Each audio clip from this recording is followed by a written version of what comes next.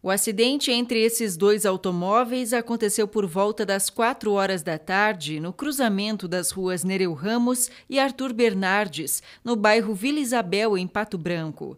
Danos nos dois veículos, ninguém se feriu.